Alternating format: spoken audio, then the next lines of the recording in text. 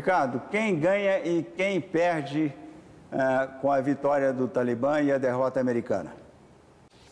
Essa é fácil, Lucas. É, os Estados Unidos, o Afeganistão, os afegãos em geral e o mundo perdem, as mulheres perdem muito. E os dois grandes ganhadores são China e Rússia, que estão adorando ver uh, os Estados Unidos mais longe do quintal deles. Então, esse vácuo eh, que os americanos deixaram rapidissimamente foi ocupado pelos dois, que já saíram apoiando o governo do Talibã, uh, que tem, primeiro, interesse, mais uma vez, de diminuir a influência americana na região, e, em segundo lugar, uh, em reforçar a, a importância do oleoduto que passa por ali.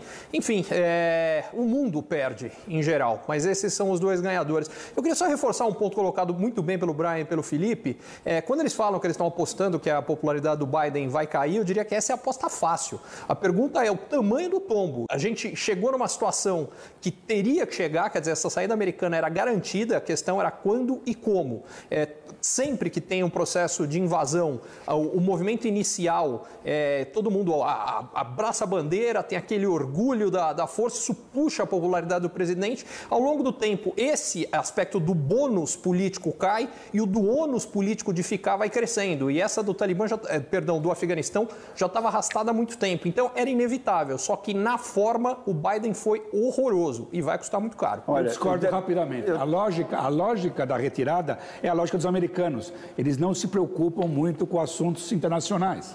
Olha o foco é local. Eu acho que, então, dependendo do que, que acontecer com o Biden nos próximos dois meses, dentro se ele consegue passar essas reformas, os projetos de infraestrutura, ah, e se conseguem ah, diminuir esse pânico, tirar essa gente que está dentro do Afeganistão, a, a, a, perda do Biden não vai ser tão grande. Aí eu concordo com você. Não